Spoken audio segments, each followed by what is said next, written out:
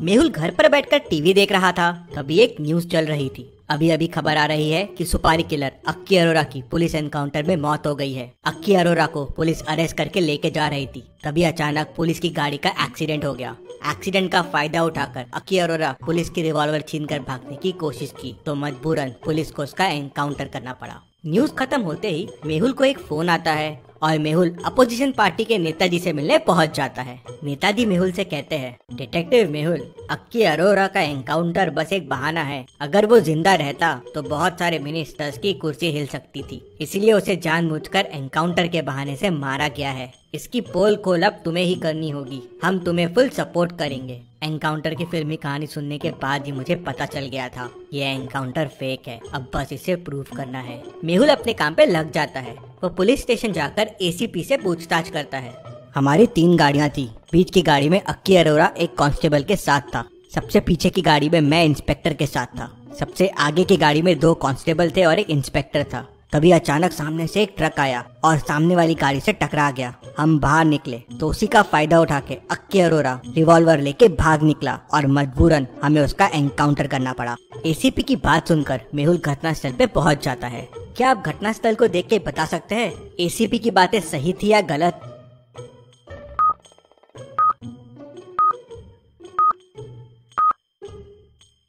मेहुल की नज़र एक बोर्ड पे जाती है, जिस पर साफ़ साफ़ लिखा था ओनली फॉर स्मॉल व्हीकल्स मतलब इस रास्ते पे ट्रक नहीं आते हैं एसीपी झूठ बोल रहा था। तभी मेहुल को उसके खबरी का फ़ोन आता है। वो मेहुल से कहता है सर अक्की अरोरा की पोस्टमार्टम रिपोर्ट आई है। अक्की अरोरा कोरोना पॉजिटिव था। ये खबर सुनते ही मेहुल तुरंत पुलिस स्टेशन क्या क्रिमिनल था वो? पलक झपकते ही गाड़ी से भाग गया। वो तो एसीपी सर ने टोक दिया। नहीं तो हाथ नहीं आता था। एसीपी साहब कहाँ है? उनकी तबीयत ठीक नहीं है। वो सिटी हॉस्पिटल गए हैं चेकअप के लिए। मेहुल तुरंत सिटी हॉस्पिटल पहुँच जाता है और वहाँ डॉक्टर से मिलता है। तो डॉक्टर मेहुल को बताता है कि एसीपी साहब कोरोना पॉजिटिव है। तो वो उनसे नहीं मिल सकता। ये सुनते ही मेहुल समझ जाता है कि क्या गड़बड़ है। क्या आपको कोई क्लू मिल रहा है? सोचिए, समझिए। समय चाहिए तो वीडियो को पॉज कीजिए।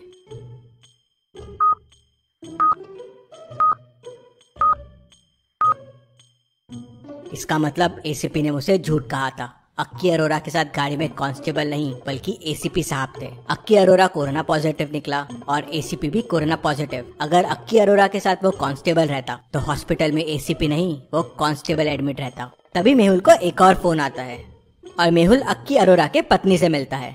नेहा मेहुल को बताती है कि अक्की को अरेस्ट करने उस दिन सिर्फ़ एसीपी आए थे। पूरी पुलिस फोर्स नहीं आई थी। तो मेहुल कहता है हाँ मैं ये जानता हूँ। एसीपी ने झूठ कहा था कि तीन गाड़ियाँ थी। गाड़ी एक ही थी, जिसमें अक्की और एसीपी ही थे। अगर टीम होती तो बाकी लोगों को भी कोरोना पॉजिटिव हो सकता था। और उस रास्ते पे ट्रक का सवाल ही नहीं होता, क्योंकि वहाँ हैवी व्हीकल्स को एंट्री ही नहीं है। फिर गाड़ी और ट्रक का एक्सीडेंट कैसे हो सकता है? ये सब एसीपी का प्लान है और बाकी पुलिस इसमें शामिल है। आप मुझे ये बताए कि उस दिन ऐसा क्या हुआ था। नेहा उसे बताती है कि उस दिन अक्की घबराता हुआ घर पे आया और ज़ोर ज़ोर से घंटी बजाने लगा। मैंने दरवाज़ा खोला। तो अक्की कहता है, दूर रहो मुझसे, मैं कोरोना पॉजिटिव हूँ। तो मैं भी घबरा गई, क्योंकि अब अक्की इलाज कैसे कराएगा? क्योंकि पुलिस उसके पीछे थी, तभी अक्की ने मुझे बताया कि उसके पास एक तरकीब है। उसने एसीपी को फ़ोन कर दिया है और वो सरेंडर करने वाला है। सरेंडर करने के बाद ही उसका इलाज हो पाएगा। लेकिन मैंने उसे सरेंडर करने से मना कर दिया, लेकिन उसने नहीं सुना। उसको कोरोना का डर हो गया था और वो उससे बचना चाहता था। और तभी घंटी बजती है और एसीपी आ जाता है। अक्की, तुम्हें मेरे साथ चलना होगा। और अक्की निकल जाता है। फिर नेहा कहती है, क्योंकि एसीपी अकेले आया था अक्की को लेने मतलब उसका एनकाउंटर उसी ने किया है। हाँ मुझे भी यही लगता है। और वहाँ से चला जाता है। मेहुल फिर से एक बार घटनास्थल पे जाता है। ये तो तय है कि गाड़ी सिर्फ़ एक थी और एसीपी ने अक्की को गोली मार दी है। लेकिन क्या ये किसी ने अपनी आँखों से देखा होगा? तभी मेहुल को वहाँ पास में एक होटल दिखता है। मेहुल उस होटल में जाता है और होटल वाले से पूछता है, दो दिन पहले यहाँ पर एक एनकाउंटर हुआ था। क्या आपने ये देखा था? साहब, हमारा ध्यान तो बस कस्टमर्स में रहता है। अब उस दिन क्या हुआ हमें नहीं पता। तभी होटल में दो लड़के आ गए। चाचा, एक चाय देना। क्या मुसीबत है यार। कितना अच्छा शॉट लगाया था कल। लेकिन बीच में पुलिस की गाड़ी आ गई। लड़कों की बात सुनकर मेहुल चौक जाता है। क्या हुआ? इतना परेशान क्यों हो?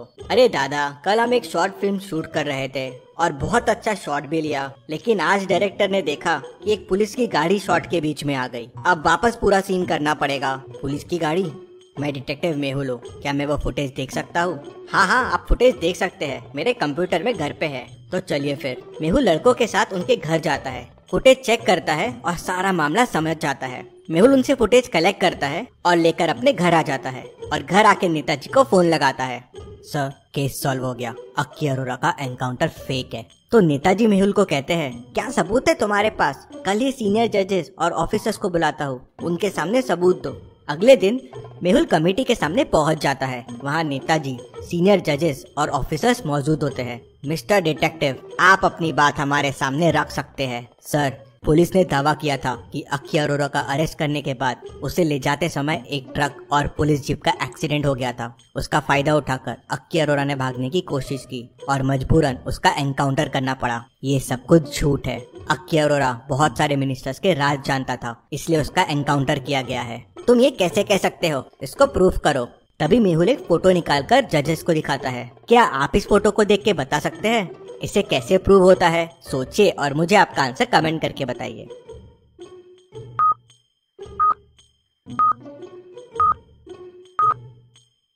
फ़ोटो में पुलिस की गाड़ी को ध्यान से देखिए। बस एक ही गाड़ी है और गाड़ी में सिर्फ़ पूरी पुलिस फोर्स नहीं, सिर्फ़ अकेले एसीपी आए थे। और उस रोड पे हैवी व्हीकल्स भी अलाउड नहीं है तो फिर ट्रक से एक्सीडेंट हो ही नहीं सकता। और एक और चीज़ सिर्फ़ एसीपी को कोरोना हुआ, बाकी फोर्स को क्यों नहीं हुआ? जो कांस्टेबल अक्की के साथ थे, उनको भी कुछ नहीं हुआ। फिर मेहुल जजेस को कहता है, ये फुटेज देखिए। फुटेज में एसीपी गाड़ी का दरवाज़ा खोलता है और अक्की को कहता है, भाग, अक्की भाग! अक्की गाड़ी से उतरता है और भागने की कोशिश करता है। तभी एसीपी पीछे से उसे गोली मार देता है। सर, इससे प्रूव हो गया। ये सब एसीपी ने ही किया है।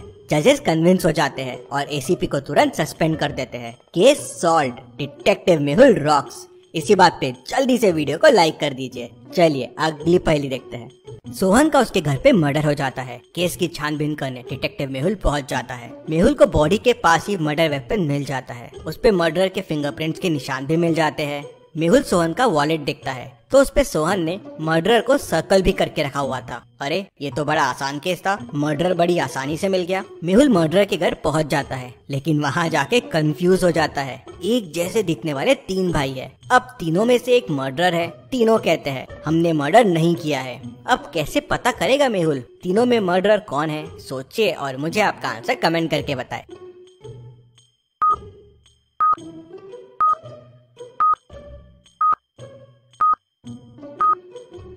फिंगरप्रिंट के निशान मिल गए थे। मेहुल वो फिंगरप्रिंट्स को इन तीनों के फिंगरप्रिंट से मैच करेगा। और जिसके मैच हो गए, वो मर्डर है। चलिए, अगली पहली देखते हैं। डिटेक्टिव मेहुल एक रूम में फंस जाता है। रूम से बाहर निकलने के लिए उसे तीन दरवाजे दिखते हैं। एक दरवाजे के पीछे जंगली शेर है, जो दरवाज़ा खोलते ही बाहर आ जाएगा और मेहुल को कच्चा चबा जाएगा।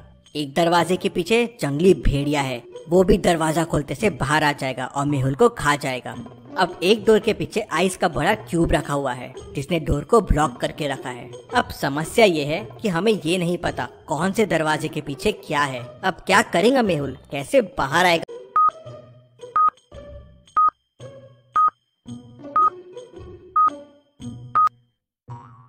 चलिए, इसका आंसर देखते हैं। ध्यान से देखिए, दरवाजे के नीचे गैप है। आइस धीरे धीरे पिघलना शुरू हो जाएगा और पानी बन के दरवाजे से बाहर आना शुरू हो जाएगा। ये देख मेहुल समझ जाएगा कि कौन से दरवाजे के पीछे आइस है। मेहुल आइस पिघलने का वेट करेगा और फिर उस दरवाजे से निकल जाएगा। चलिए, अगली पहली देखते हैं। इस पिक्चर को ध्यान से देखिए और मुझे बताइए मेहुल की कितनी बहनें हैं। सोचिए और मुझे आपका आंसर कमेंट करके बताएँ।